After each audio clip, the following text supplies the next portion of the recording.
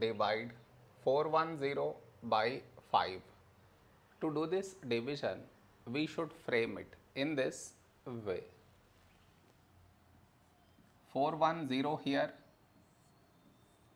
5 here. This is your step 1. Next. Here we have 4, here 5.